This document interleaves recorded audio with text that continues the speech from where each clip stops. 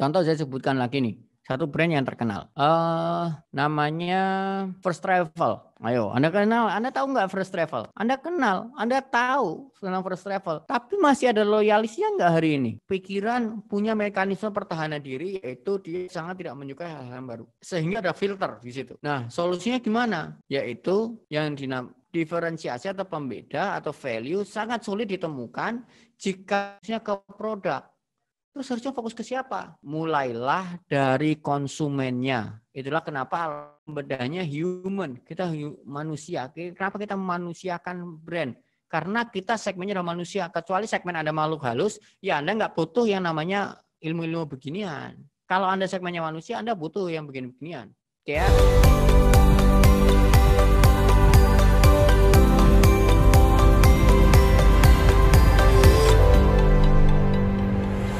Bismillahirrahmanirrahim. Assalamualaikum warahmatullahi wabarakatuh. Halo teman-teman, apa kabar semuanya? Teman-teman yang bergabung di Sukabumi Creative Hub, tetap terus semangat ya. Oke, pada kesempatan kali ini saya dapat kebagian judul yaitu uh, psikologi dan hubungannya dengan branding dan apa hubungannya dengan marketing. Ini judulnya sedikit saya modifikasi ya, produk unik versus positioning unik.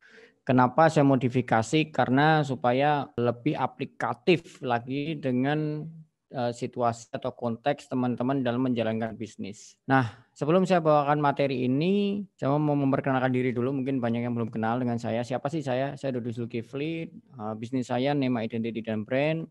Uh, saya punya bisnis lain yaitu founder Hasbuna Creative Studio, kemudian Derajat Celsius Printing. Oke, sebelum saya mulai juga saya biasa menceritakan sebuah kisah.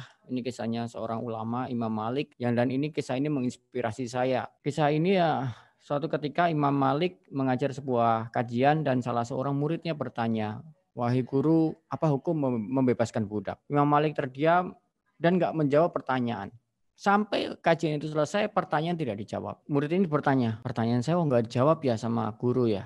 Udah mungkin dijawab pekan depan. Pekan depan datang lagi ke kajian yang sama, tapi Imam Malik juga tidak membahas tentang pertanyaan yang diajukan sebelumnya. Sampai kajian minggu kedua, ketiga, keempat, kelima, keenam, ketujuh, kedelapan, artinya sudah dua bulan. Murid ini tetap datang secara konsisten mengikuti kajian Imam Malik. Tepat di bulan ke-8 di minggu ke-8 yaitu di bulan atau minggu atau pekan pekan ke-8 atau bulan kedua, murid ini mendapatkan jawaban Imam Malik mengatakan, mana murid eh, waktu itu ada yang bertanya kepadaku hukum membebaskan budak. Kemudian Imam Malik menjelaskan, ini loh hukum membebaskan budak, ini caranya, ini teknisnya, dan lain-lain dijelaskan detail oleh Imam Malik. Kemudian Imam Malik mengatakan, eh, maaf, muridnya kemudian bertanya lagi, wahai guru, saya yang bertanya tentang cara hukum membebaskan budak. Kenapa engkau baru menjawab setelah dua bulan? Padahal saya yakin dua bulan yang lalu engkau paham, engkau sudah tahu hukum-hukum itu. Karena engkau pernah menulis sebuah kitab. Apa kata Imam Malik? Pada saat engkau bertanya kepadaku hukum membebaskan budak, saya belum pernah satu kali pun membebaskan budak. Sehingga saya harus mengumpulkan uang, membebaskan, kemudian setelah itu baru saya menceritakannya. Dari kisah ini menginspirasi saya agar saya menceritakan apa-apa yang saya sudah jalani. Dan saya menjalani apa-apa yang saya ceritakan. Sehingga slide-slide yang ingin saya bawakan adalah sharing pengalaman berbisnis saya semenjak 19 tahun yang lalu. Karena saya berbisnis tahun 2001. Lulus SMA, saya kemudian langsung berbisnis. Yang di mana banyak yang nanya, Mas Rudi, belajar ilmu brand dari mana sih? Ya, saya street smart. Artinya apa? Saya belajar melalui sebuah praktek yang saya lakukan, kemudian saya share apa yang sudah saya lakukan dan bagaimana hasilnya ketika saya melakukan itu. Apa yang bisa yang saya lakukan pada tahun 2001 ketika lulus SMA? Yaitu percetakan namanya Tasnim Print. Alhamdulillah bangkrut tahun 2003, bangkrut secara efektif efisien.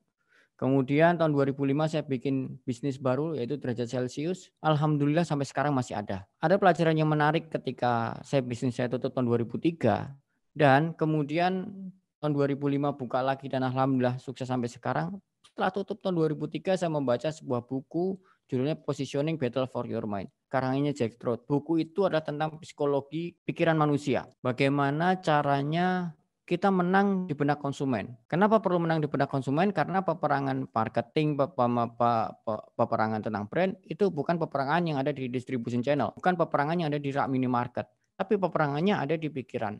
Contoh misalnya begini, pada saat kita haus di tengah jalan misalnya, dan kita ingin minum, misalnya nggak dalam situasi Ramadan ya teman-teman ya. Coba kalian bayangkan ketika tidak Ramadan, sedang ada di jalan, kemudian haus. Ada kepikiran ingin membeli sesuatu minuman, apa pun itu minumannya. Dan di pikiran teman-teman sudah ada nama brandnya. Saya ingin Aqua, saya ingin teh botol sosro, saya ingin teh pucuk harum atau teh atau buah vita. Kemudian masuk ke Indomaret. Itu tinggal mengeksekusi apa yang sudah ada di pikiran. Itu tadi yang disebut dengan Jack Truth adalah peperangannya bukan di rak minimarket. Peperangannya ada di pikiran konsumen. Nah, sehingga relevansi dengan judul ini produk unik atau versus positioning unik. Nah, ini yang kebanyakan teman-teman UKM lakukan adalah selama ini masih mengotak-atik produknya. Padahal peperangannya bukan di ranah produk, tapi peperangannya ada di ranah yaitu pikiran konsumen. Nah, nanti detailnya bagaimana nanti insya Allah saya jelaskan. Nah, karena saya membaca buku itu Alhamdulillah tahun 2005 saya membuat bisnis baru yang sudah dengan ilmu plus pengalaman saya tutup.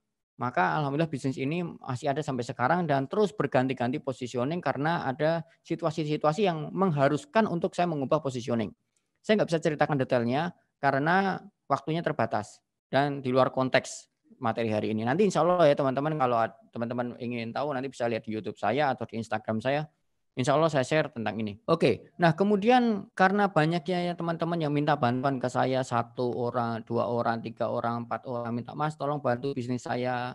Pada waktu itu saya masih aktif di uh, di Celsius. Kemudian tahun 2010 saya berpikir wah ini kayaknya kalau makin banyak yang minta bantuan untuk dibantu bisnisnya untuk develop bisnisnya udahlah saya bikinin konsultan sekalian makanya saya bikinlah yang namanya Neymar di tahun 2010 kemudian Nema eh, brand consultant plus jasa visual identity. Kemudian karena banyaknya teman-teman UKM yang masih kecil startup baru ingin uh, bergabung dengan Nema tapi keterbatasan dana sehingga saya buatkan segmen khusus untuk itu yang di mana teman-teman UKM butuh hanya sekedar visual aja nggak butuh strategi dan nggak butuh lain-lain maka saya buatkan segmen khusus untuk melayani pasar tersebut yaitu namanya Hasbuna ya tahun 2014. Alhamdulillah sampai saat ini 19 tahun pengalaman saya sudah lebih dari 700 portfolio, 35 kategori bisnis dan 17 tahun pengalaman uh, les maaf 19 tahun pengalaman saya berbisnis. Ini setelah tiga tahun yang lalu ya, saya belum berubah. Oke. Kemudian banyak yang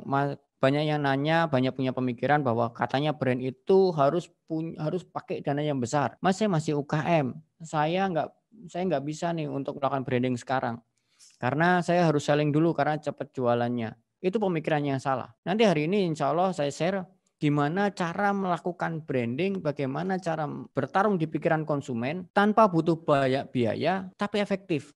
Saya langsung aplikasikan di bisnis eh, teman-teman UKM misalnya yaitu kerupuk. Yang kerupuk beginian harga berapa sih? Paling 500 sampai 1000 gitu. Yang di mana kalau teman-teman eh, berjualan begini nggak kemungkinan kecil menggunakan budget yang cukup besar. Nah, insya Allah nanti saya sampaikan detailnya apa-apa yang harus dilakukan. Sampai salah satu klien saya yang kerugiannya 400 juta setiap bulan. Nah ini juga fenomena menarik juga teman-teman UKM yang di mana ketika fondasinya belum siap, kemudian di scale up. Apa yang terjadi ya kerugian yang terjadi. Gali lubang tutup lubang. Alhamdulillah pada waktu itu pengalaman uh, saya membantu ini bisa menurunkan kerugiannya. Belum sampai nol waktu saya tinggal, tetapi sudah kerugiannya sudah berkurang. Ini beberapa klien saya, Darut Tauhid Bandung, Amili, Miwaku, ini kosmetik, ini kosmetik juga, ini Biro Perjalanan Umroh, Haji, dan lain-lain.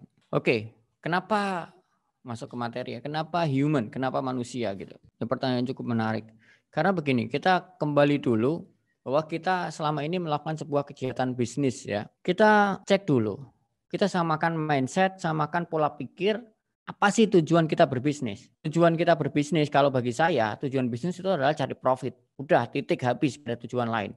Ada yang ngomong Mas Dodi itu kan bisnis itu kan harus bermanfaat buat orang lain. Iya, namanya bisnis harus bermanfaat. Kalau bisnisnya tidak bermanfaat, itu pasti nggak nggak akan jadi selling. Udah pasti. Kenapa? Karena yang namanya menjual, konsumen beli itu karena ada problem. Kalau konsumen nggak ada problem, nggak akan beli produk Anda. Sesimpel itu sebetulnya. Nah, tujuannya dalam berbisnis satu, cari profit. Lewat apa? Lewat produk-produk yang bermanfaat gitu. Nah, jadi kita perlu luruskan dulu, tujuan berbisnis bukan untuk menjadi bermanfaat. Tujuan berbisnis adalah untuk profit. Nanti profitnya dibuat apa? Itu sesuai dengan brand vision Anda, sesuai dengan ideologi Anda nantinya. Tapi tujuan bisnis kita real cari profit. Contoh analogi gampang nih ya, kalau masih masih belum serak dengan kalimat bahwa tujuan berbisnis adalah cari profit. Ini saya kasih sampel. Ada seorang kemarin waktu saya haji ada ada yang cerita ke saya. Dia cerita beberapa tahun sekitar 20 tahun yang lalu orang tuanya meninggal pada saat pada saat orang tuanya meninggal masih meninggalkan hutang. Nah, kemudian si anak ini mengatakan, "Ya udah saya tanggung." Tapi kalau saya tanggung sekarang utangnya orang tua saya, bisnis yang ada itu nggak cukup untuk membiayai uh, ngebayar utang utang orang tua saya. Maka saya harus buat bisnis baru.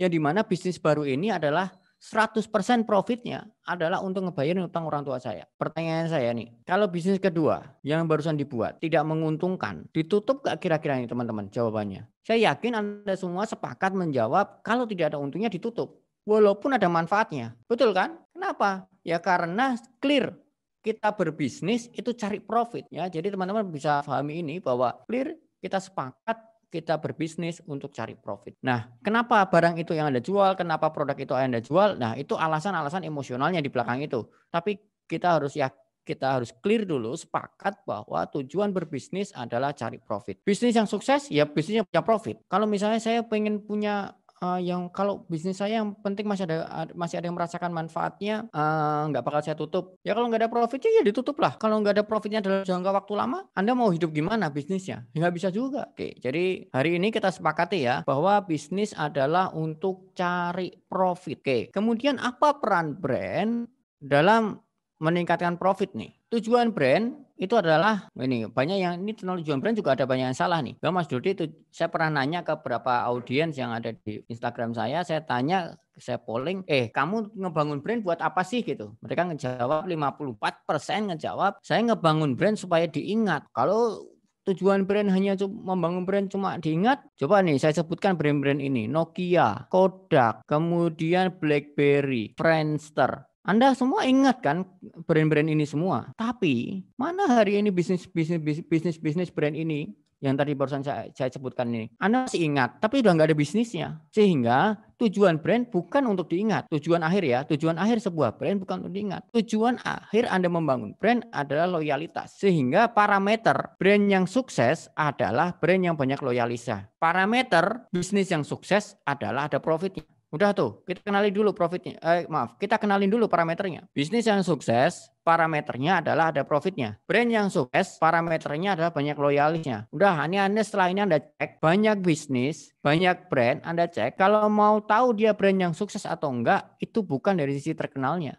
tapi dari sisi loyalisnya. Contoh saya sebutkan lagi nih satu brand yang terkenal. Uh, namanya First Travel. Ayo, Anda kenal, Anda tahu nggak First Travel? Anda kenal, Anda tahu tentang First Travel. Tapi masih ada loyalisnya nggak hari ini? Udah nggak ada kan? Kalau tujuan brand hanya untuk dikenal, ya ini kalau tujuan brand hanya untuk dikenal, artinya brand-brand yang terkenal, artinya itu brand yang sukses dong dan termasuk yang saya sebutkan first travel. Sehingga kita pahami dulu gitu. Kalau kita ini tujuan brand, tujuan bisnis masih naik tuh masih beda-beda pemahamannya ya nggak klop nanti kita ngatur strategi ke belakangnya gitu. Pakat ya, ini berarti bahwa tujuan brand adalah membentuk atau mencari loyalis. Kenapa harus loyalis dan apa hubungannya dengan bisnis? Oke.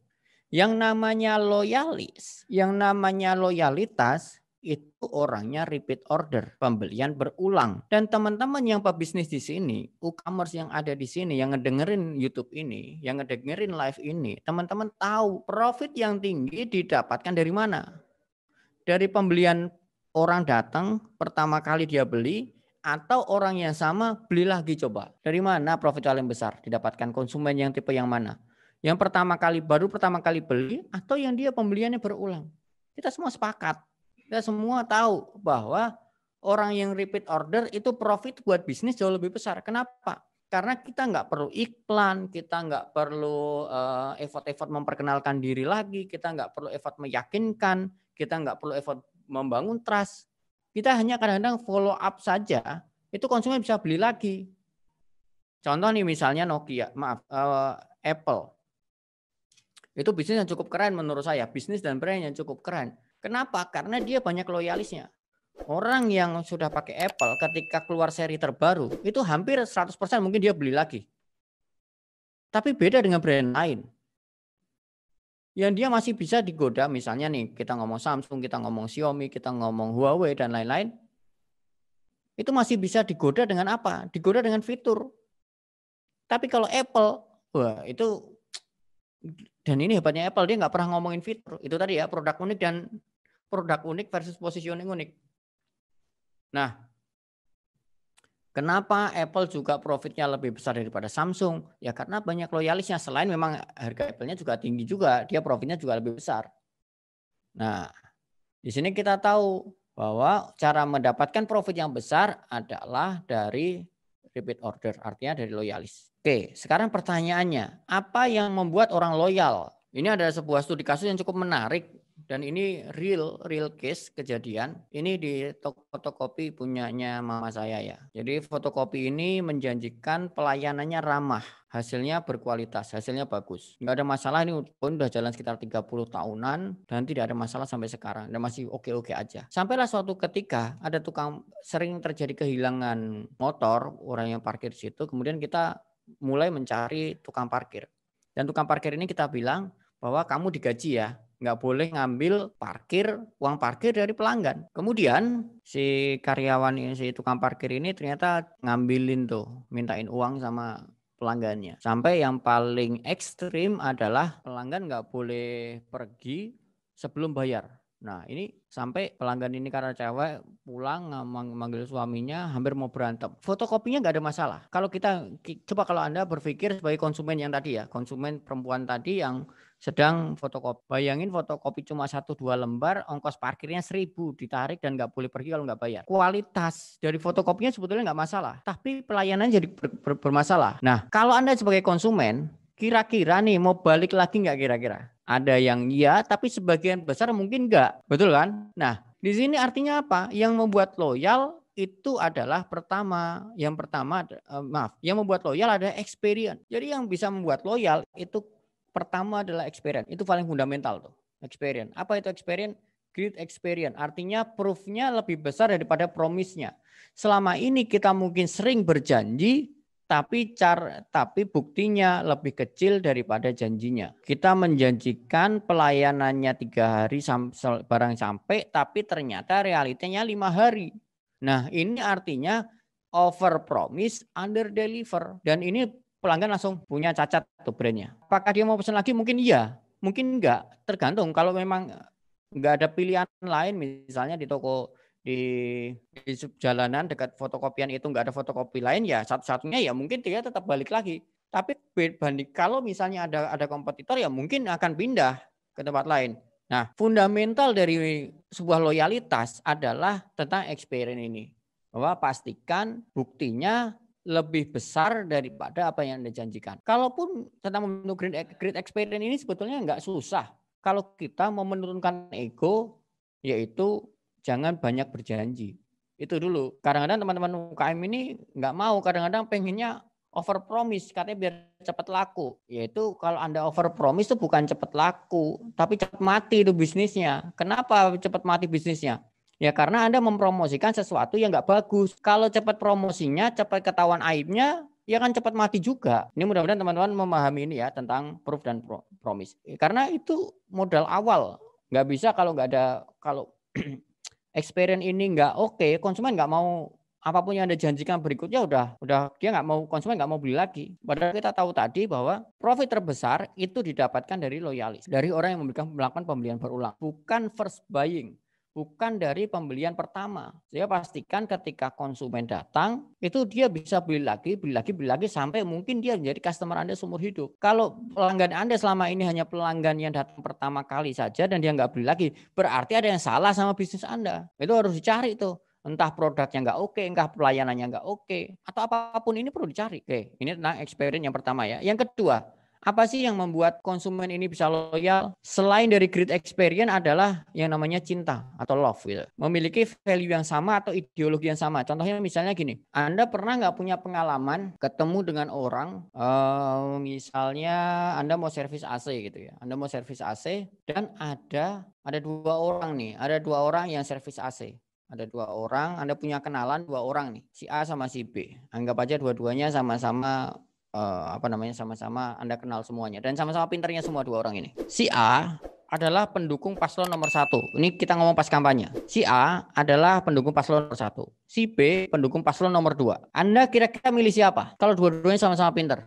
sama-sama kenal Anda. Saya yakin Anda memilih yang punya value yang sama atau ideologi yang sama dengan Anda. Anda memilih orang yang punya pandangan paslon yang sama. Kenapa? Ya itu tadi orang lebih nyaman, manusia lebih nyaman dengan orang yang punya value yang sama. Dan kita sangat menghindari konfrontasi sebetulnya. Dengan cara apa kita menghindari konfrontasi itu ya? Kita memilih teman-teman orang orang yang dekat, orang-orang kita ajak bisnis, orang-orang yang kita ajak uh, bertransaksi adalah orang-orang yang memiliki value yang sama. Nah ini tadi ya, walaupun dia berkompeten, ini balik lagi ya, kompeten itu ada di yang pertama, great promise itu yang proof dan promise. Orang yang kompeten, tapi punya value yang tidak sama dengan uh, konsumen, konsumen akan mencari, konsumen akan mencari lebih enjoy bertransaksi dengan uh, sebuah brand atau dengan orang yang memiliki value atau ideologi yang sama. Contoh lain lagi nih, ini tentang emosional ya. Love ini tentang emotional value. Dan brand ini untuk membentuk experience kita butuh dua-duanya. Kita butuh rational value dan butuh emotional value.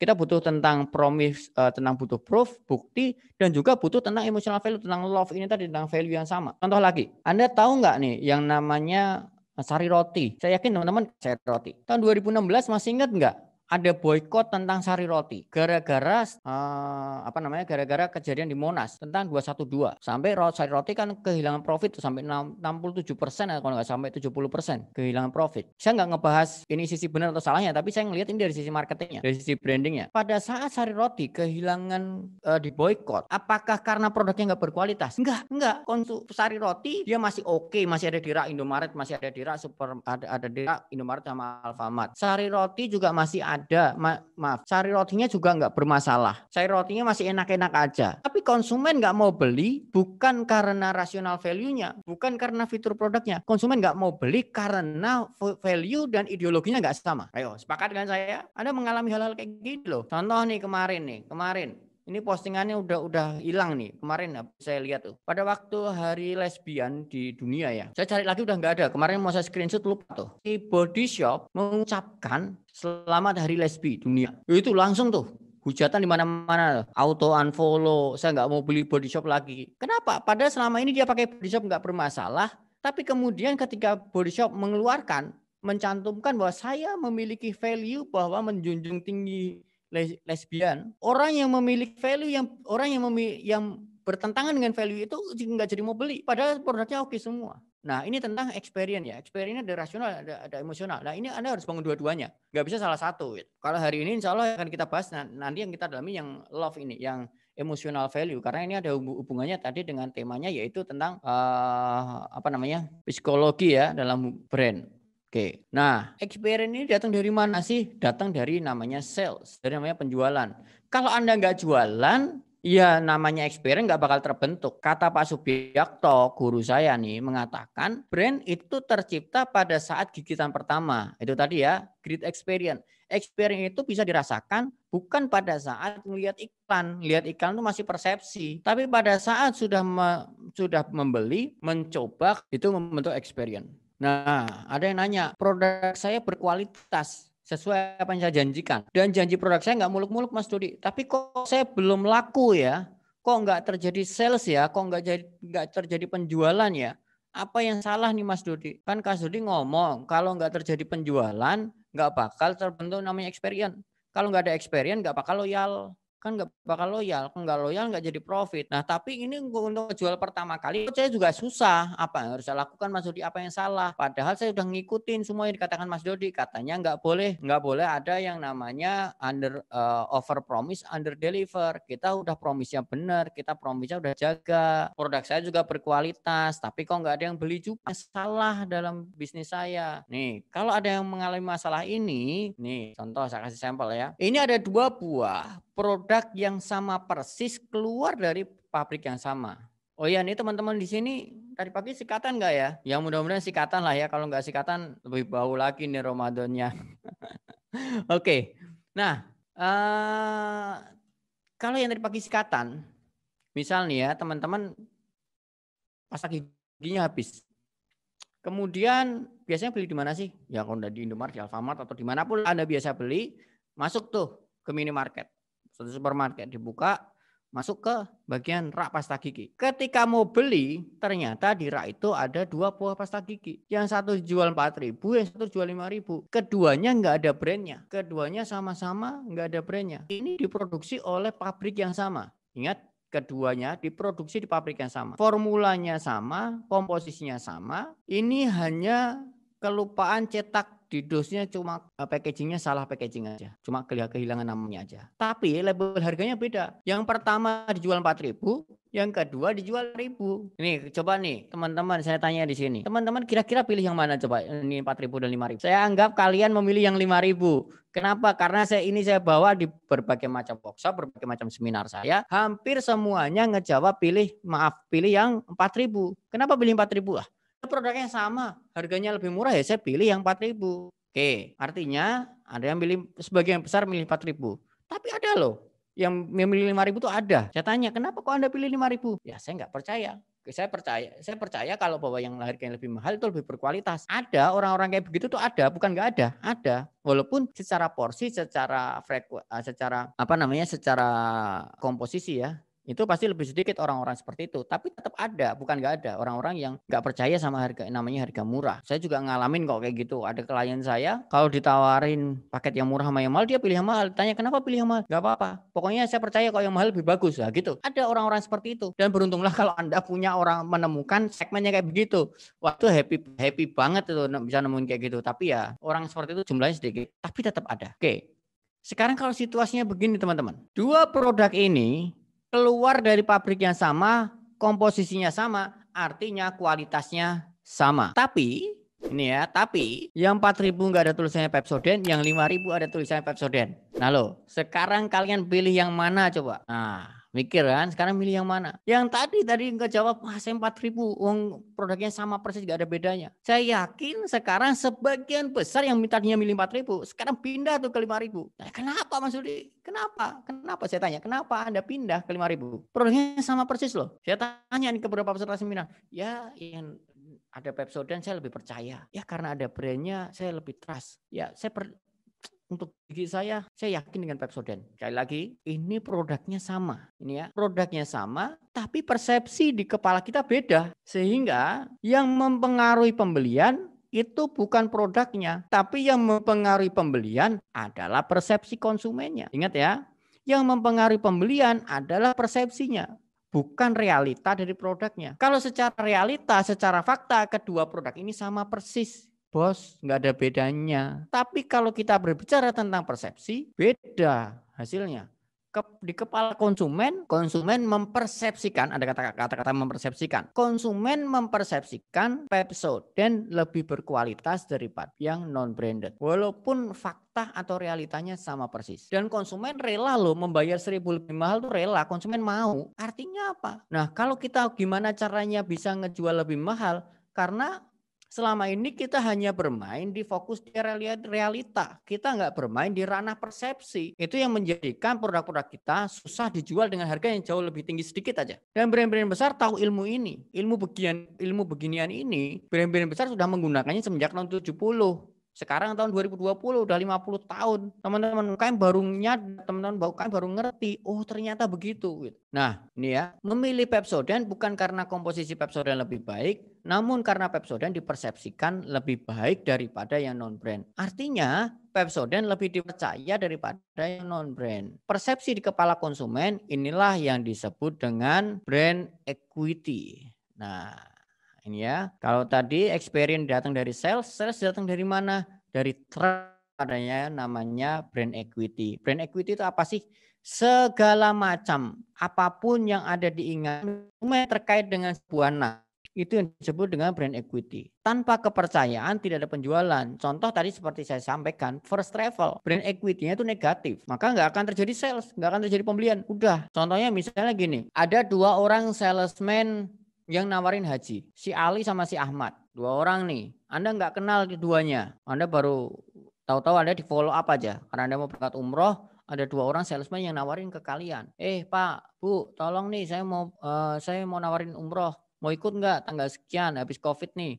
Udah dipastikan Saudi buka. COVID. Si Ali ngomong gitu. Si Ahmad juga ngomong nih harga sama 20 juta sama dengan Ali. Ternyata keduanya menawarkan paket yang sama, harga yang sama, hotel yang sama. Tapi kemudian si Ali mengatakan, saya ini salesman-nya first travel. Udah bubar, nggak bakal kita beli. Red langsung si Ali. Betul kan? Si Alinya nggak salah. Tapi yang ketika dia membawa embel-embel first travel, kita nggak beli dia, nggak jadi beli sama dia. Walaupun mungkin first travelnya udah berubah hari ini, tapi equity-nya, trust-nya udah nggak ada sama sekali. Sehingga kita nggak mungkin bertransaksi dengan orang yang punya reputasi negatif sama kita. Nah, ini tadi ya, bahwa tanpa kepercayaan tidak ada penjualan. Oke, saya lanjutkan. Contoh lagi nih, biar gampang. Biar teman-teman mudah menghubungkan dengan uh, kehidupannya masing-masing ya. Misalnya anda ngejual madu, Anda mau beli madu nih, Anda mau beli madu. Ini madunya madu murni ya, bukan madu asli. Loh beda atau madu di madu asli yang madu murni?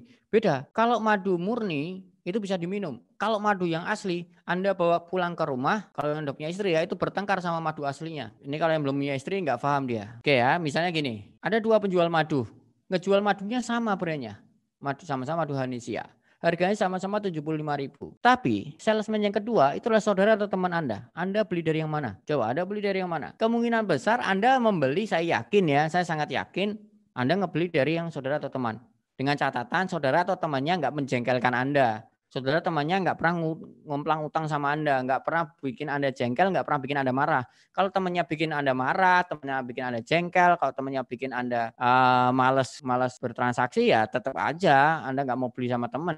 Ini anggap aja kalau temannya baik-baik saja hubungannya ya. Kemungkinan besar Anda bertransaksi kepada teman. Pertanyaan saya kenapa? Padahal produknya sama loh. Apakah lebih murah? Enggak. Apakah lebih berkualitas produknya? Enggak juga, karena Anda nyaman. Manusia nyaman dengan subjek-subjek yang sudah dikenal sebelumnya. Kalau ada subjek yang tidak dikenal sebelumnya, otak reptil kita aktif, waspada tingkat tinggi karena dianggap sebagai ancaman. Itu makanya pentingnya membangun reputasi di awal atau brand equity supaya apa? Supaya lebih mudah menjual. Oke, ini first travel tadi udah saya ambilkan sampel ya. Oke, dari grafik ini saya ulang lagi, saya resume dari apa yang saya sampaikan. Kenapa kita harus fokus ke human, fokus ke manusia ya? Bahwa ketika kita berbisnis kita mau dapat profit. Profit besar didapatkan dari repeat order. Repeat order itu tujuan dari loyalitas. Loyalitasnya tujuan brand ya, tujuan brand loyalitas. Loyalitas bisa dapat dari mana? Kalau ada namanya great experience. Great experience terdiri dari dua hal. Yang pertama adalah ras, uh, karena rational value, produknya sama dengan produknya sama dengan apa yang dijanjikan. Yang kedua, kalau memiliki value yang sama secara personal dengan brand tersebut atau personal dengan personal. Experience ini bisa muncul dari mana? Kalau adanya terjadi pembelian pertama atau sales ya. Nah, sales ini bisa terjadi kalau ada yang namanya trust atau brand equity. Oke, sampai sini masih ingat? Oke, nah, kemudian dari sini dalam bisnis akan dicatatkan nih kalau dalam bisnis ya dicatatkan yaitu namanya sales dan namanya profit. Ini ada di laporan laba rugi. Kemudian kalau dalam brand yang kita ukur adalah satu brand equity-nya ini sebetulnya bisa diukur yang kedua yang bisa diukur juga adalah experience-nya gimana kecewa atau enggak feedback dari konsumen ini kita harus ukur. Yang terakhir yang kita ukur adalah loyalitasnya. Jadi brand dan bisnis ini adalah bagi pemahaman Nemawe sekeping mata uang yang hanya berbeda sisi. Bisnis dan brand sekeping mata uang yang hanya berbeda sisi. Dan ini saya sudah bikinkan framework yang mendukung pernyataan yang saya sebutkan tadi. Oke, kita bahas yang tentang human. Mana yang berkaitan dengan human? Satu, terkait dengan equity atau trust. Yang kedua terkait dengan love. Nah, dua ini yang kita akan bahas ya. Karena dua hal inilah yang ngebuat bagaimana cara ngebentuk loyalitas. Intinya kan gini, konsumen nggak mau beli kalau orang nggak percaya gitu kan. Nah, kepercayaan itu bisa dilekatkan kepada manusia. Ingat bahwa konsumen hanya mau membeli ketika ada ke, saya trust dengan ketika saya ada trust. Ketika saya trust, trust ini ada dua hal yang kita bisa lakukan trust ke personalnya atau trust ke produk brandnya. Nah, kalau personal berarti jadi personal branding. Kalau trust ke produknya artinya kan menjadi produk branding. Pepsodent nggak ada, nggak ada, nggak ada personal brandingnya sama sekali. Tapi mungkin ada banyak brand yang keluar personal brandingnya. Nah, ini yang mau kita bangun yang mana? Kita mau memilih yang mana nih? Keduanya sama-sama bisa kok. Misalnya nih Anda jadi reseller, reseller resellernya brand tertentu. Mungkin ketika brand yang Anda jual, kosmetik, jilbab, apalagi ya frozen food nggak terkenal nggak terkenal terkenal banget tapi mungkin teman anda mau beli satu grup di WA mau beli Karena personal brand Anda nggak per, belum percaya sama produk yang dia beli, konsumen, tapi konsumen tersebut percaya kepada karena Anda yang jual, karena Anda sudah dikenal sama teman Anda satu grup di WhatsApp, teman satu komunitas. Nah, sehingga teman-teman ini yang melakukan pakai reseller gitu ya. Ini ini sekedar saran ya. Kalau Anda ingat di sini ya, nama Anda, nama brand Anda ketika Anda dipercaya oleh teman, ketika Anda dipercaya oleh grup di, di sebuah grup, itu kan aset ya. Itu aset, itu aset berharga. Dan itu Anda bisa gunakan untuk terjadinya sales kan. Anda jualan apa pun pasti dibeli kalau Anda kalau Anda dipercaya. Nah, ketika dibeli terjadilah experience. Saran saya, ini saran saya, ketika Anda mau jualan reseller dalam bentuk apa pun boleh-boleh saja. Tapi pastikan yang Anda jual itu berkualitas. Kenapa? Karena kalau tidak berkualitas, experience-nya jelek, itu yang dapat jelek bukan hanya produk itu, tapi termasuk yang jual dapat loh. Kenapa? Karena Anda menjanjikan ini enak loh. Kan gitu kan? Sehingga penjual plus produknya sama produk brandnya sama-sama kena. Karena Anda men, men, pada saat menjual melakukan proses kayak personal garanti. Gitu. Ini jaminan saya bahwa produk ini enak. Gitu. Nah, jadi ini teman-teman sangat yang reseller harus berhati-hati ya. Karena nanti teman Anda ketika mau membeli Anda jual sesuatu, teman Anda mulai berhati-hati ketika mau beli. Ini beneran enak gak ya? Jangan-jangan kayak kemarin nih, ya gitu kan. Nah, jadi nama brand Anda adalah aset, tolong please lindungin itu. Karena untuk mengembalikan reputasi itu susah banget. Contoh tadi saya udah ambil sampel yang cukup susah untuk mengembalikan reputasi adalah first travel, abu tour itu udah cacat udah susah banget untuk mengembalikan bukan nggak bisa, tapi butuh effort besar.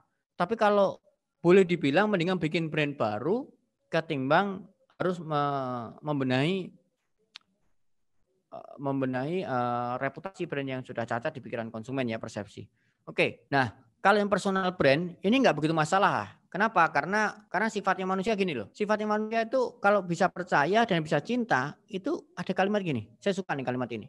Manusia hanya dapat percaya dan cinta hanya kepada manusia lagi. Kalau kita menggunakan personal brand, itu nggak jadi masalah. Kenapa? Karena ada sosok yang bisa dilihat, sosok yang bisa kita kenal, dia cukup hangat karena sama-sama makhluk emosional, eh maaf, maaf sama-sama makhluk sosial, bisa diajak berbicara, sih bisa diajak ngobrol, bisa di, bisa diajak ketemu, itu nggak masalah kalau personal branding ya. Nah, yang jadi berat kalau kita sedang melakukan yang namanya produk branding. Gimana caranya, ini tadi ya, gimana caranya produk sebuah brand bisa dipercaya plus bisa dicintai. Gimana bisa dipercaya dan bisa dicintai? Sedangkan Ya, sedangkan brand ini adalah sebuah kata benda dan dia benda mati. Dia bukan makhluk hidup. Brand adalah benda mati. Gimana manusia yang namanya makhluk sosial bisa percaya? Nah, gimana caranya supaya si brand yang benda mati ini bisa dapat dipercaya plus dapat dicintai? Itu tadi. Karena kenapa human? Karena untuk membuat audiens cinta dan loyal perlu memahami mereka. Oke, gimana caranya brand benda mati ini bisa tetap bisa dirasakan hidup? Yang pertama, butuh yang namanya brand personality. Apa itu brand personality? Ini teman-teman ya, pernah makan Oreo nggak? Yang pernah makan Oreo tolong cung, cung yang pernah makan Oreo. Oke, pernah makan Oreo ya. Kalau teman-teman pernah makan Oreo nih, saya tanya ya. Dalam sebuah dalam imajinasi teman-teman semuanya, jikalau ada manusia yang namanya Oreo kira-kira dia usianya berapa? Dalam pikiran teman-teman coba, dia usia. Apa yang ngomong ada yang mau remaja, ada yang ngomong anak kecil. Ya sebagian besar nih saya tanya mereka menjawab kayaknya kecil Mas Rudi antara 5 sampai 10 tahun anak SD lah.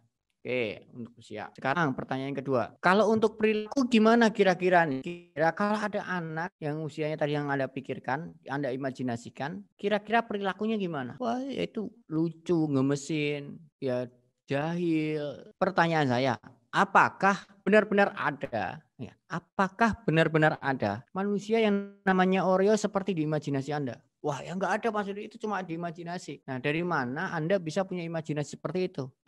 Oreo terasa hidup kan dalam hidup Anda? Ngerasain bahwa Oreo ini benar-benar ada dalam wujud anak kecil yang Anda sebutkan tadi dalam imajinasi. Nah, inilah yang disebut dengan brand personality. Apa itu brand personality? Melekatkan sifat-sifat manusia kepada sebuah brand. Brand personality adalah melekatkan sifat-sifat manusia kepada sebuah brand. Sifat-sifat manusia itu apa? Ya banyak. Pokoknya gini, Intinya ya kalau Anda brand Anda ingin mempunyai ingin memiliki personality, caranya adalah Anda bayangkan kalau brand Anda adalah seorang manusia, kira-kira dia laki-laki atau perempuan dulu. Yang kedua usianya berapa? Perilakunya kayak gimana? Kalau dia belanja, belanja suka brand apa? Pokoknya benar-benar Anda pikirkan dalam imajinasi Anda, brand Anda itu adalah seorang manusia. Ini cara paling gampang untuk outputnya begitu. Memang kalau di agensi saya di Nema itu proses menentukan brand personality ini ada ada panjang perjalanannya ya gimana cara menjawab pertanyaan itu. Tapi outputnya outputnya itu tadi adalah bayangkan kalau dia jadi seorang manusia kira-kira usianya berapa laki-laki atau perempuan perilakunya bagaimana supaya apa kita butuh brand personality Nanti pada saat Anda bikin konten, pada saat Anda cari model, Anda saat cari ambasador, itu harus yang memiliki personality yang sama. Contohnya si Oreo ini tadi. Padahal kalau berbicara tentang bisnisnya Oreo, itu usia bisnisnya Oreo itu 105 tahun loh. Nah, 106 tahun sekarang mungkin. Usia bisnisnya 106 tahun, tapi dalam imajinasi Anda, Oreo tetap anak-anak kecil. Kenapa? Karena Oreo menjaga personalitinya. Gimana cara ngejagainnya? Dia memilih model bintang iklan yang sesuai dengan personalitinya yang merepresentasikan si Oreo-nya ini. Anda saya yakin Anda ingatnya tentang iklan diputar, dijilat, dicelupin ya kan? Ya kan? Betul kan? Dan Anda menganggap bahwa Oreo ya dia itu. Oreo kayak gitu tuh kelakuannya. Dan itulah sebuah brand. Contoh nih, Apple sama contoh lain lagi Apple sama uh, Microsoft. Kenapa Apple lebih banyak cinta cerita cintanya, banyak kisah-kisahnya? Karena dilekatkan dengan personal brandnya Steve Jobs. Yang di mana ada dramanya di dalam kehidupan Steve Jobs.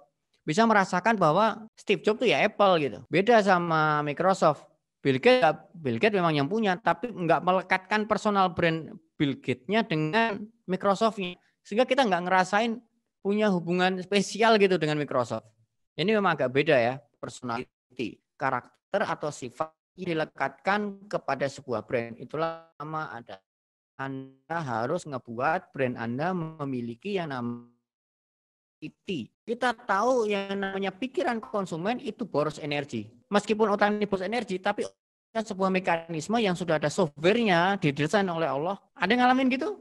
Tahu-tahu sampai rumah aja. Oh iya lupa tadi. Dan kita pernah dengan sadar menentukan jalan pulang kita. Kayaknya kita ada otomatis saja tuh.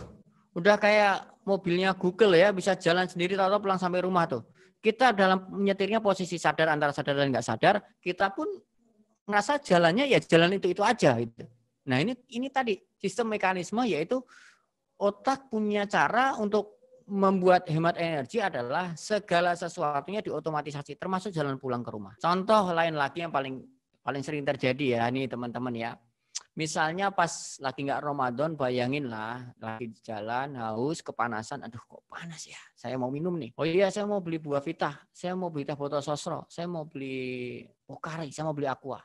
Di mana di Indomaret? Itu depan tuh Indomaret. Masuk deh ke Indomaret. Buka, seret. Buka pintu Indomaret. Saya tanya nih ke Anda. Mata ditutup. Anda tahu nggak chiller lemari pendingin ruangan tuh, eh, pendingin pendingin uh, apa namanya kulkas chiller pendingin minuman tuh ada di sebelah mana coba? Buka pintu, belok mana? Kanan, kiri, lurus. Kiri. Dan Anda paham. Anda tahu. Anda saat Betul kan? Betul kan? Otak Anda sudah mengotomatisasi. Nah, begitu ada brand lain yang buka minimarket yang layoutnya berbeda dengan Indomaret dan Alfamart yang seperti pada umumnya, kalau cari minuman, buka pintu, belok kiri ketemu minuman, layoutnya beda, otak Anda langsung hang. Begitu buka, kok gak ada ya? Pilotnya di mana ya? Anda mulai merasa nggak nyaman. Ketika Anda merasa nggak nyaman, Anda nggak mau balik ke minimarket yang layoutnya berbeda dengan layout yang pada umumnya terjadi. Kenapa? Ini tadi ya, pikiran itu akan mengotomatisasi segala hal. Pikiran akan menolak, pikiran akan nggak suka, pikiran akan membuang segala hal yang sifatnya baru-baru dalam hidupnya. Itu mekanisme permainan otak. Jadi ketika Anda menawarkan sesuatu yang baru-baru, itu otak tuh nggak langsung bisa percaya dan nggak mau terima langsung. Benar-benar baru ya. Dari yang nol benar-benar nggak ada, itu otak nggak mau terima. Kenapa ya? Karena memang mekanisme pertahanan otaknya begitu. Termasuk yang tadi tentu, tentang layout minimarket. Kadang-kadang nih saya juga gini, banyak yang pengen niru bikin Indomaret Alfamart nggak jalan. Seakan-akan tuh men mendesain sebuah outlet itu kayaknya tinggal copy paste gitu doang. Enggak, di dalam Indomaret sama Alfamart itu banyak konsultan, konsultan interior, konsultan visual identity, konsultan uh, untuk ngatur ini rak untuk experience-nya itu ada ini untuk rak rak rak itu aja itu ada konsultan sendiri gitu.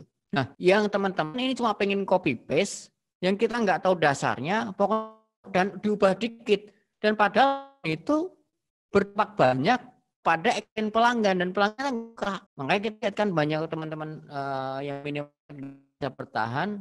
Kenapa? Karena cuma tahu mengcopy paste tapi nggak tahu, nggak paham ilmunya. Nah, oke kita lanjutkan ya. Nah, gimana nih triknya untuk menghadapi atau menyiasati otak yang atau pikiran yang boros energi? Yaitu saat akan melakukan inovasi, jangan melakukan hal benar-benar baru. Ini jangan melakukan hal-hal yang benar-benar baru, tapi manfaatkan apa yang sudah dipikiran. Ini contoh, saya kasih sampel biar gampang ya. Contoh, Yakul dan Pokari ini awalnya baru di pikiran otak kita. Kita nggak kenal minuman namanya minuman bakteri sehat yang harus diminum yang katanya bisa mengurai. Itu awal pertama kali otak kita nggak nggak nyantol tuh logikanya. Ini sesuatu yang baru di pikiran kita. Sehingga apa yang terjadi? Dia butuh waktu lama untuk bisa diterima oleh diterima oleh pasar. Ini inovasi besar, iya, tapi dia butuh waktu untuk bisa diterima. Pokari juga hal yang sama dan inilah yang disebut dengan product driven dan market driven. Apa itu? Product driven itu adalah pasarnya nggak ada, yang memiliki kebutuhan itu nggak ada, tapi diciptain produknya dulu, kemudian demand-nya di-create. Eh, kamu butuh loh pencernaan dibantu oleh bakteri-bakteri sehat ini adanya Yakult. Nah, tapi untuk menuju ke sana prosesnya panjang dan nggak segampang itu Verso. Dan itu butuh duit banyak kalau Anda pakai produk driven begini. Pokari itu ya hari ini juga sukses.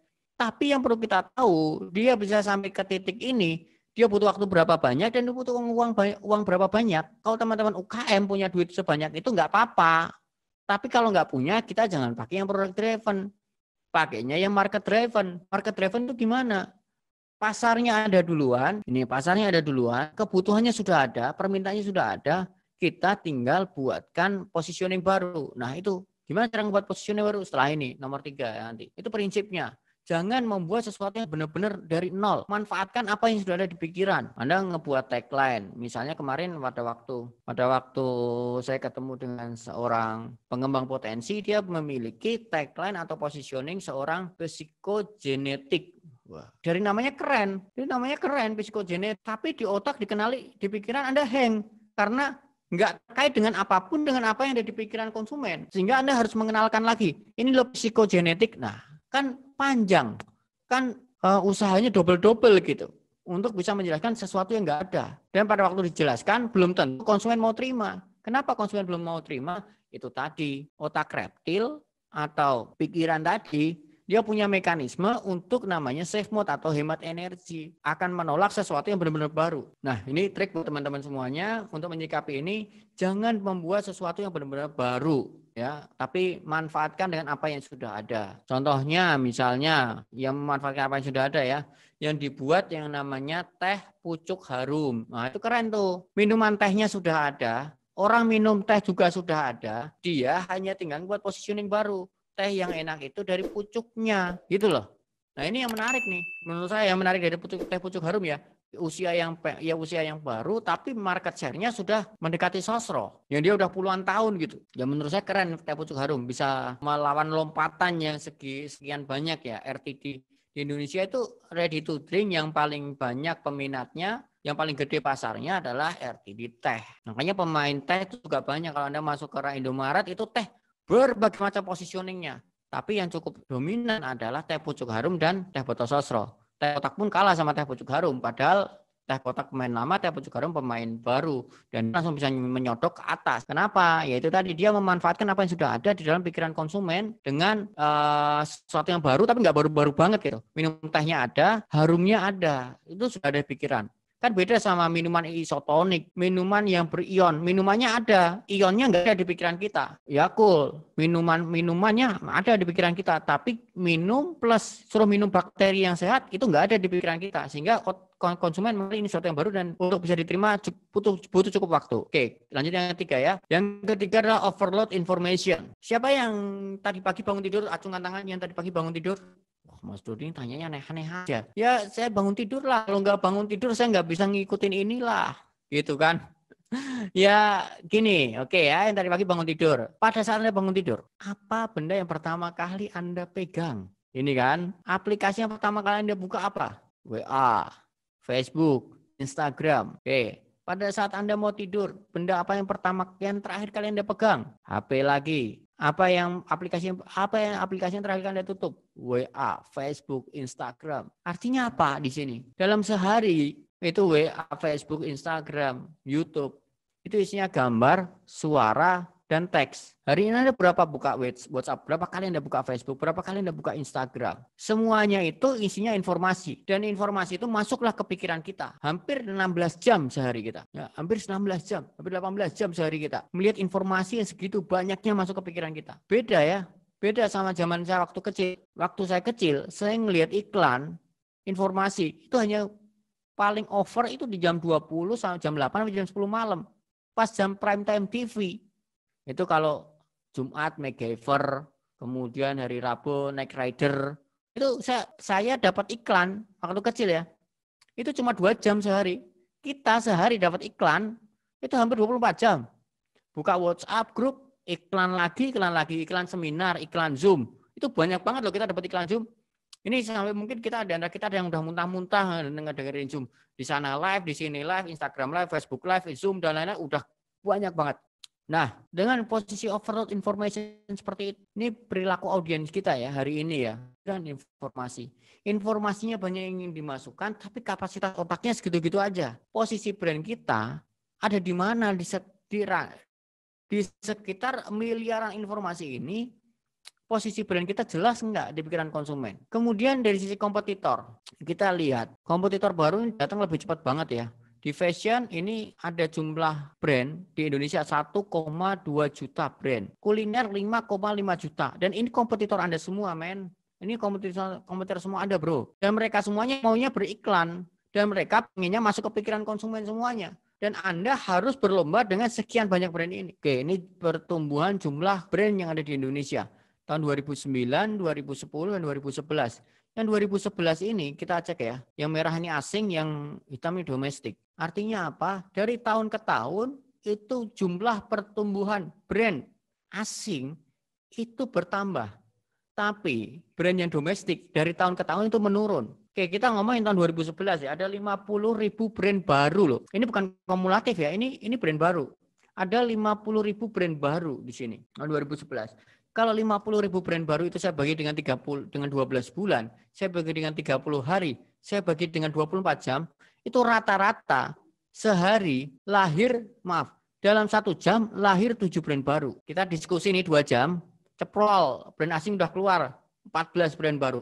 Kita baru ngebahas satu. Jadi percepatannya ini luar biasa ya. Sudah kita tahu perilaku konsumennya, sehari-hari overload information. Yang kedua, dari kompetitornya udah tubuhnya eksponensial dan masing-masing kompetitor ini pengen masuk brandnya ke kepala konsumen sehingga di antara in, di antara sekian banyak ini di di mana brand kita akan ber, akan ada di posisi di kepala konsumen. Kita ingat juga bahwa pikiran punya mekanisme pertahanan diri yaitu dia sangat tidak menyukai hal-hal baru. Sehingga ada filter di situ. Nah, solusinya gimana? Yaitu yang dinam diferensiasi atau pembeda atau value sangat sulit ditemukan jika ke produk Terus harusnya fokus ke siapa? Mulailah dari konsumennya. Itulah kenapa bedanya human. Kita manusia. Kenapa kita memanusiakan brand? Karena kita segmennya adalah manusia. Kecuali segmen Anda makhluk halus, ya Anda nggak butuh yang namanya ilmu-ilmu beginian. Kalau Anda segmennya manusia, Anda butuh yang begini-beginian. Ya. Lanjutkan. Contoh nih gimana? Uh, memulai dari pikiran pelanggan ya. Yang dimaksud itu gimana sih Mas Dodi positioning? Saya tanya nih, obat apa misalnya yang laki-laki ya? Saya nggak tahu yang di sini yang pesertanya laki-laki atau perempuan banyaknya. Oke, anggap ada yang anda, anda yang laki-laki nih pernah sakit kepala misalnya dan kemudian anda biasa minum obat apa? Ada yang ngomong Paramex, ada yang ngomong Panadol, ada yang berbicara uh, Oskado dan lain-lain. Oke, misalnya nih Anda yang selama ini minum Paramex. Kemudian Anda buka kotak P3K. Setelah buka kotak P3K, ternyata nggak ada obat-obat yang seperti tadi yang saya sebutkan. Ternyata yang ada adalah obat ini di kotak P3K. Pertanyaan saya, Anda ambil nggak nih Anda minum nggak? Anda sakit kepala yang laki-laki ngelihatnya ngelihatnya kayak begini obatnya, Anda ambil nggak? Sebagian besar mengatakan enggak lah, itu kan obat buat nyeri head. Saya kan nyarinya nyeri kepala. Nah ini tadi bahwa faktanya nih, faktanya ini fakta ya, realita.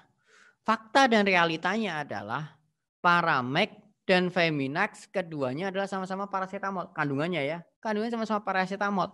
Paracetamol adalah pereda nyeri. Nyeri apa? Nyeri apa pun. Nyeri apa pun itu paracetamol. Mau nyeri head, nyeri gigi, nyeri kepala, nyeri nyeri kaki, nyeri tangan, nyeri hati, ah, beda ya. Nyeri hati itu kayaknya beda lagi obatnya. Tapi nyeri apa pun itu obatnya paraset, pereda nyerinya itu adalah paracetamol. Artinya Feminak dan Paramek secara produk, secara komposisi mirip-mirip alias secara realita sama tapi secara persepsi beda. Bisa dipahami di sini? Nah, inilah yang disebut dengan positioning. Nah, inilah yang disebut dengan positioning. Bagaimana kita mempengaruhi yang diubah bukan produknya, tapi yang diubah adalah cara konsumen berpikir. Mas, kasih contoh buat UKM dong. Oke, saya kasih contoh nih buat UKM.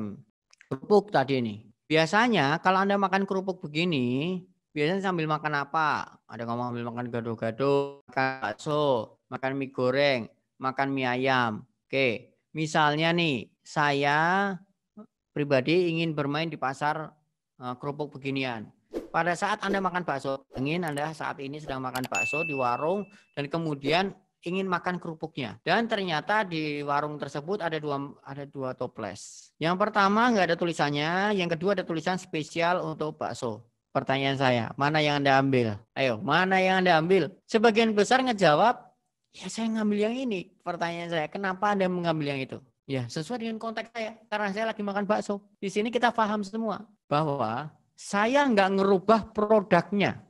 Saya nggak utak-atik produknya. Kerupuknya warnanya sama. Ukurannya sama, bahannya sama. Saya nggak nambahin micin, saya nggak nambahin apa pun. Saya nggak mengubah produk, tapi yang saya ubah adalah cara berpikir konsumennya. Itulah yang disebut dengan positioning. Ingat ya, positioning bukanlah mengubah produk, tapi yang diubah adalah cara berpikir cara berpikir konsumennya.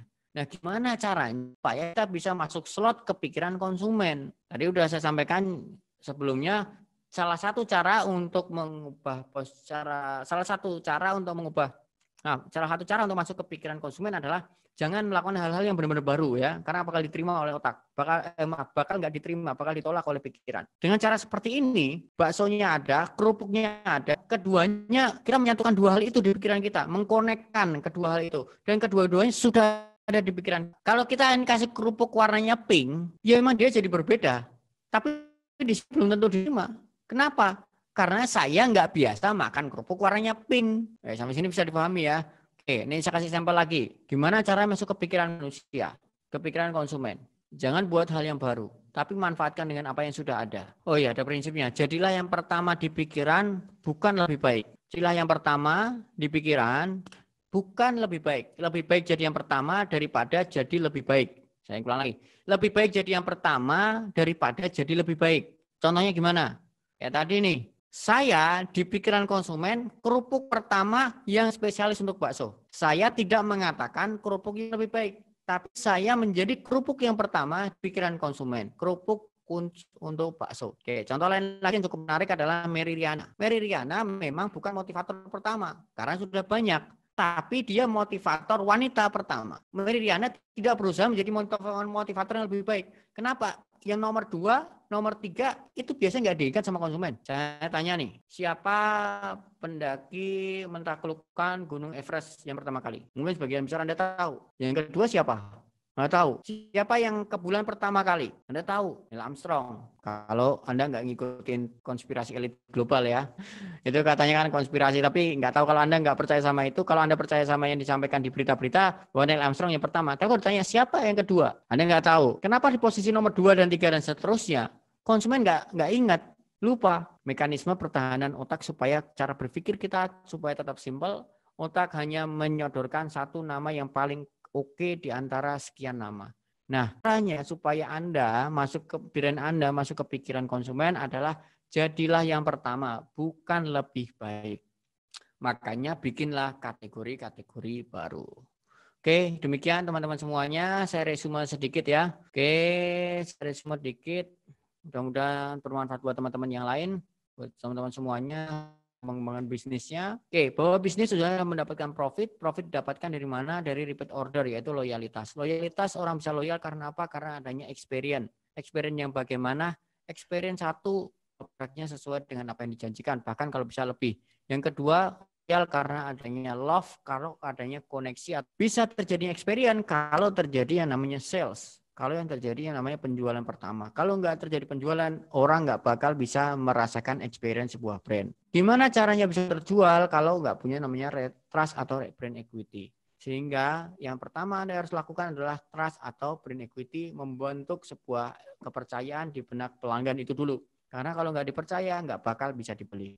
Ini contoh bahwa konsumen sangat nyaman, sangat senang bertransaksi dengan subjek-subjek yang sudah dikenal sebelumnya. Sehingga tugas teman-teman adalah menjadi aware dulu supaya teman-teman supaya orang konsumen mau beli kenal. Kalau nggak kenal nggak bakal dibeli. Kenapa nggak? Karena kenapa begitu ya? Karena konsumen nggak nyaman. Karena manusia nggak nyaman bertransaksi dengan subjek yang belum pernah dikenal sebelumnya. Oke, yang perlu kita garis bawahi pada pertemuan hari ini adalah dua hal, yaitu tentang trust dan tentang love. Kenapa? Karena ini yang berhubungan dengan pikiran manusia. Nah, trust itu bisa diletakkan pada dua hal. Yang pertama personal, artinya jadi personal branding, dan yang kedua produk atau produk branding. Yang kita tahu bahwa manusia tidak percaya dengan yang namanya eh, maaf. Kita tahu yang namanya manusia bisa trust dan percaya dan cinta hanya kepada manusia lagi. Maka kalau Anda menggunakan jualan menggunakan personal branding sudah aman. Kalau menggunakan branding itu yang harus kita melakukan treatment. Kenapa? Karena brand adalah benda mati dan benda mati tidak bisa manusia tidak bisa jatuh cinta dan tidak bisa percaya kepada benda mati. Kalau Anda tetap ingin melakukan produk branding, apa yang harus Anda lakukan? Anda membutuhkan namanya brand personality. Apa itu brand personality? Brand personality adalah sifat-sifat manusia yang dilekatkan kepada sebuah brand. Contohnya Oreo tadi yang sudah saya sampaikan. Oke, yang kedua yang Anda perlu Anda lakukan adalah jangan memulai sesuatu yang benar-benar baru. Laku kombinasikan apa yang man, maaf, manfaatkan apa yang sudah ada di pikiran atau apa yang sudah ada di pikiran atau ingatan pelanggan. Satukan dua hal yang berbeda dan yang sudah ada di pikiran Anda akan memiliki kategori baru. Contohnya kayak gimana tadi sudah saya sampaikan. Contohnya adalah Meridiana, wanita dan motivator ya. Jadi wanita sudah ada, motivatornya sudah ada sehingga menjadi wanita motivator per, wanita pertama kan menjadi motivator yang lebih baik. Itu prinsipnya.